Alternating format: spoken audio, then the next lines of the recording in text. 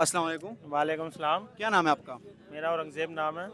आ, मुझे बताइएगा कि खान साहब को गिरफ़्तार किया गया है और जेल में हैं आप इस वक्त। जी जी। क्या कहना चाहेंगे कि खान साहब की गिरफ्तारी होनी चाहिए थी? सर देखें ये सियासी लोग हैं ठीक है? ये जो है ना एक दूसरे से इंतकाम ले रहे हैं ठीक है? कभी वो उनको जेल में डाल देते हैं कभी इनको जेल में डाल देते हैं ठीक है? अभी ये पिछले दिनों पीटीआई के कितने कारकुन उन्होंने जेलों में डाले हैं ये पिछले दिनों खान साहब ने तहरीक भी चलाई थी जी, जेल भरें तहरीक पूरी करें, ठीक है? अब ये देखें कि ये अपने मफाद के लिए एक दूसरे को अंदर कर रहे हैं, ये आवाम का नहीं सोच रहे हैं कि यार महँगाई कहाँ तक जा रही है? मुआशियत ख़राब हो गई है मुल्क की, ठीक है? अब एक मजदूर है जो वो एक बंदा कमाने वाला है, पीछे छः बच्चे जिसके खाने वाले उसके घर में चूल्हा भी नहीं जल रहा। महँगाई को कंट्रोल नहीं ये लोग कर रहे हैं। ये मुल्क की तरफ़ ध्यान नहीं दे रहे हैं। ये सिर्फ़ अपने मुफाद के लिए इलेक्शन कराएँ इलेक्शन कराएँ। मुझे बताएँ, इलेक्शन कराने से क्या ये मुआशियत ठीक हो जाएगी? या महँगाई कम हो जाएगी? या गरीब आवाम की जो परेशानियाँ हैं, वो दूर हो जाएँगी? ठीक है? अब जितनी भी ये देखें, जितने भी ये सियासी लोग हैं, मुझे बताएँ, इसमें एक भी बंदा कोई रेडी छापा लगा रहा है।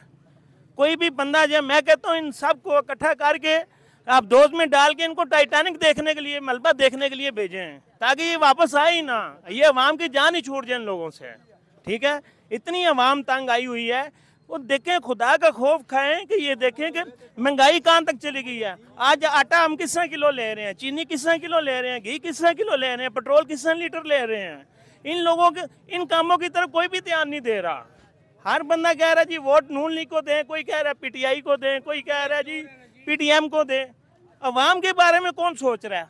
मुआशियत के बारे में कौन सोच रहा है? मुल्क जो है, बीस साल पीछे चला गया। मुल्क के बारे में कोई नहीं सोच रहा, अवाम के बारे में कोई नहीं सोच रहा, महँगाई के बारे में कोई नहीं सोच रहा, मुआशियत के बारे में कोई नहीं सोच रहा। हर बंदा यही कह रहा है, जी खान साहब अंदर हो गए हैं। अब खान साहब अंदर हो गए इसमें अवाम का तो कोई कसूर नहीं है। ठीक है? अब मुझे बताएँ कि एक कह रहा है, जी, पीटीआई को वोट दें। दूसरा कह रहा है पीटीएम को वोट दें। ठीक है?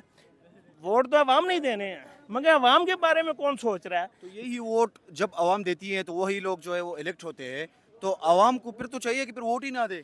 सर अवाम जो है देखिए वोट इसलिए देती है कि ये मुल्क के बारे में सोचें गरीब बंदे के बारे में सोचें ठीक है? महँगाई के बारे में सोचें।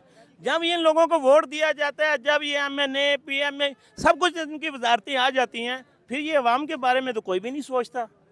अवाम तो इनके बारे में सोचती है कि कोई बंदा आए और वशीयत और महँगाई के बारे में आज तक किसी ने लॉन्ग मार्च मुझे बताएँ, सियासतदान ने महँगाई के बारे में लॉन्ग मार्च किया आज तक? जब भी हमने सुन रहे हैं, ये मरियम नवाज़ साहब है, जी महँगाई के खिलाफ लॉन्ग मार्च करें।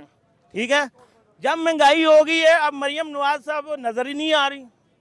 इमरान खान साहब है, महँगाई कितनी ज़्यादा हो गई है, अब वो महँगाई के बारे में बोल ही नहीं रहे हैं।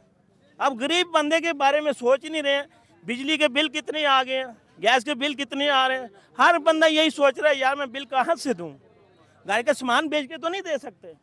मुझे बताएँ, कोई भी सियासतदान जितने भी हैं, ये जेल में जा रहे हैं, ये अवाम ने कभी अवाम के बारे में सोचा है? गरीब बारे में किसी ने सोचा है कि यार, ये एक बंदा कमाने वाला है, पीछे छः बच्चे खाने वाले हैं, उसका चूल्हा भी घर में जल रहा है कि नहीं जल रहा? मेरी जो भी वज़ीर अजम आ रहे हैं, अपील है कि खुदा के लिए इस मुल्क को पाकिस्तान ही रहने दें। कारोबार ना बनाए। इस मुल्क इन लोगों ने बिज़नेस बनाया हुआ है। ठीक है? मुझे बताएँ कोई भी सियासतदान जो है कोई गरीब आदमी है सारे अरब खरब पत्ती हैं। ठीक है? कोई भी सियासतदान का बेटा कहीं रेडी लगा रहा है कोई छापा लगा रहा है। मुझे बताएँ इन लोगों का महँगाई के खिलाफ कोई तलक है? महँगाई के खिलाफ सिर्फ़ गरीब बंदे का ताल्लुक है। ठीक है? मेरी अपील है जो भी हुकूमत आए सिर्फ़ महँगाई के बारे में सोचे गरीब बंदे के बारे में सोचे पाकिस्तान के बारे में सोचे मुआशियत को बेहतर करें। थैंक यू महँगाई